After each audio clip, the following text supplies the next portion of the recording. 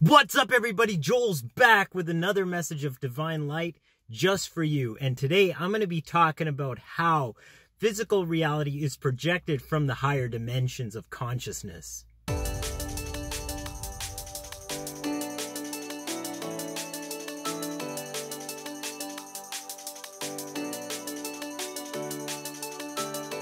But before I begin, I gotta say, if you like these videos, give it a thumbs up, hit subscribe for more, and stay tuned because the messages are coming through like never before. And we are stepping into a brand new era where we're manifesting our dream life in this physical world. No longer manipulated or controlled or any of that. We are stepping up as sovereigns. So, with that being said, I'm going to jump right into it physical reality and how does it relate to the realms of consciousness which project reality itself. You know, the age old maxim is that physical reality is a result of our thoughts and assumptions. But when we look around, things happen that we don't want to happen.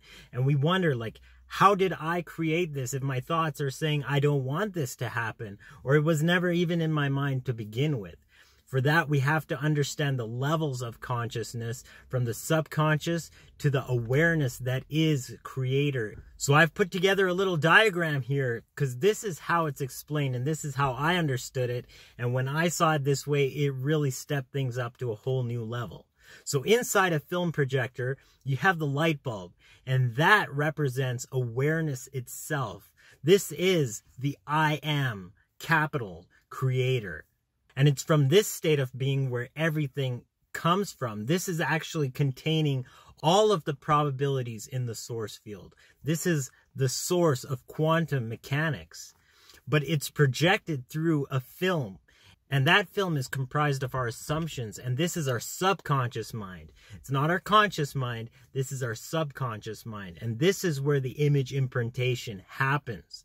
This is where we create stories for ourselves based on past events or what we've been fed through, you know, through media or family or education, whatever it is. This is where our expectations of the world is actually formed. And through that light shining through those assumptions, it is projected onto the screen of time space. And we perceive this in the 3D or 4D if you count time as an effect this is where we see reality and we gauge it with our physical perception, our ego. This is the logical mind and this is the physical memory for which our brains are an effect of. So it's when we see these things that we can gauge in the physical whether it's good or bad or whether we want to continue with it or whether we want to, you know, change it. And in order to change it, we have to go to the subconscious realm and change that film so that the image on the screen can change. Otherwise, it's like going up to a mirror and you're not smiling, but you're expecting the face that's being reflected back to you to smile first. It doesn't work that way. So we can't try and manipulate the screen. We can't try and paint over the TV just because we're not tuned into the channel that we really want to perceive. And in order to do that, we have to tap into the subconscious and rewrite those images.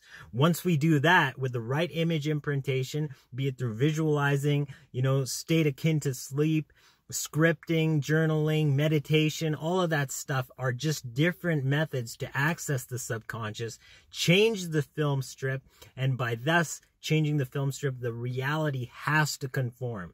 We're not going to force the reality to conform. Otherwise, that's like trying to push a wet noodle across a tabletop. Doesn't really work out very well. But the light that's unaffected is the awareness that gives all of us life and is the perception, the observer in quantum physics.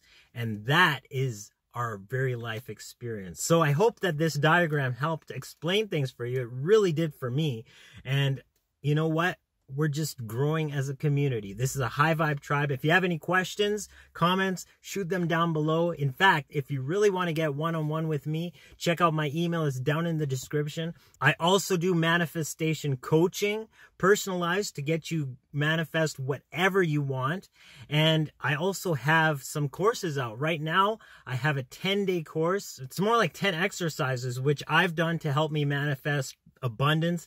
And you can do these as many times as you want. You know, it's not limited to 10 days. So take advantage of that. Link is down below. There's much more coming where I'm going to be condensing all of the information that I had in my reasoning sessions to contribute to manifesting our best life yet according to scripture.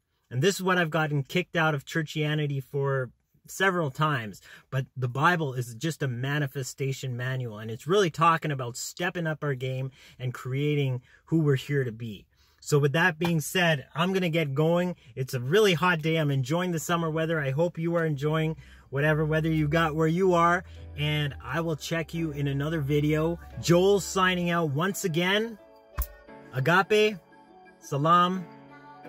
Namaste. Hotep.